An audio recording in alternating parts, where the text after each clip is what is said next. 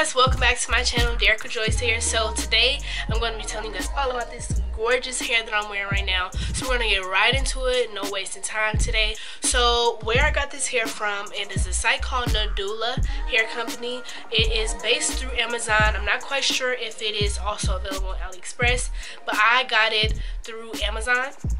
Now I got a 10 inch closure with 12 14 16 inch bundles and I did my hair I did made my wig a little bit different than how you would usually see someone make a wig. Usually if someone gets 12 14 16 they install them 12 14 16 but being that I wanted it to be a blunt look I went in with the 14 inch the 12 inch and then I put the 16 inch bundle on top and then the, the 10 inch closure over top of the 16 inch bundle.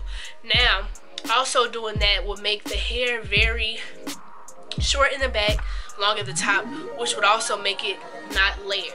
Now I do know that I do have the 10 inch closure but I did cut it up here in the front to frame my face and it blends pretty well in the back so you can't tell. But now if I was to do the 12 14 16 you would be able to see the layers in it and that's not what I wanted. So that's why I did it that way. Hope that makes sense but yeah. So I also colored the hair as you can see I bleached it once. I actually didn't have enough developers, so I had only done the top and then I left the back just the natural color, but I didn't like it. So I went in and I just bleached the whole head all over again. And then I just put, that's why the color at the top is more vibrant than the back. Very, very light flowy very light and flowy. When it dries of course it's gonna get bigger and bigger but it looks very natural and very uh, summertime vibes is what I'm getting right now. So definitely will recommend this hair. As far as shedding goes um, it does shed but of course it's going to shed because it's curly hair your natural hair sheds. So what I would suggest for people that are looking for curly hair and that are looking for less shedding and that kind of stuff don't go into buying hair expecting that it will not shed at all all hair is to shed regardless if it's straight curly wavy it's all to shed but now when it becomes to get a little bit more excessive that's where you should be concerned but a few strands here and there is definitely not to hurt anyone.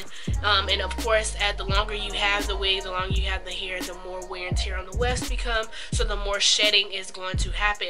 So you can do, there are multiple ways you can um, avoid shedding. There are multiple ways that you can control shedding um, by just not manipulating it all together. Stop running your fingers through your hair. Now this is curly hair, so I wouldn't suggest running your fingers through it anyway because the curls would get less and less defined and stuff like that. But now I'm running my hands through here. I have one strand probably can't even see it but I have one strand and that's not bad at all as far as shedding for this hair I'm good with it the wefts being very thick um, as far as the shedding goes. Tangling is not a problem. I've only had the hair for a few days now so I can't really attest to tangling and all that kind of stuff but I want to take my wigs off um, when I am not doing anything so most likely when I'm done doing this video I'm gonna take this wig off um, so I would definitely recommend that if you are wearing wigs to take them off when you're not doing anything if you're sitting around sitting around the house just take it off because that means when you're laying on it when you're doing different stuff stuff, that's where that tangling and stuff comes from in the back and up under your ears and stuff. That's where tangling comes from if you're just constantly rubbing on a sweaty neck in the summertime, a scarf in the wintertime. So if you have a wig or something, just take it off when you're not wearing it and uh, comb through it and brush through it. Maintain your hair and that will definitely uh, help with the longevity of it in the, in, in the ending so altogether definitely will recommend this hair. They're super nice company. They're super nice people. Definitely kept in contact. They were very prompt when responding to emails and messages and all that kind of stuff. So definitely will recommend this hair. Now I also do have a short clip of me installing my elastic band into this wig. So it's gonna be right after this. It's gonna be real short and sweet because I know a lot of people have questions on how I install my elastic band to make my wig very snug snuck to my head. It's not glued down or anything. My elastic band is here. So I'm going to let that clip play.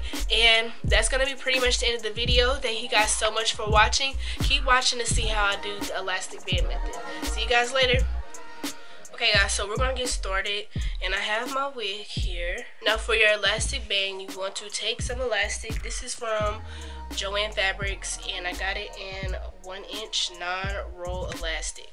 So now what you wanna do is take it to about where the closure stops, stretch it until how tight you want it to be that's a little too tight so you're gonna you're gonna adjust it. Some people measure their head and subtract a few inches but i do it this way because i like to be able to know how tight it will be on my head when i sew it down onto the closure. So this is still a little bit too tight so you just want to keep adjusting it until you have it to the tightness that you like. Then you want to just take your scissors and it and this I like this elastic because it has like the ridges in it. So I can tell where I need to cut kind of I'm gonna take it and you're gonna attach it right to the edge of like the closure and the wig. Now when you sew it on there you want to sew it into both the cap and into the closure. I'm sorry if you guys can't see it but you can see that I'm I went into both it's into both. Now, the good thing about closures, it has the like band kind of on it. I'm trying to show you. It has like this little protector thing.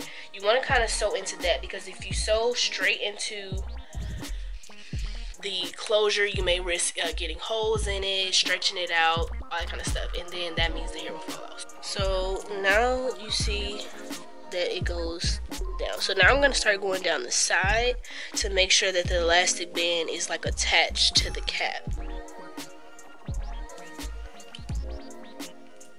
So you just... Now be careful with the cap because you don't want to necessarily go through the elastic on the cap.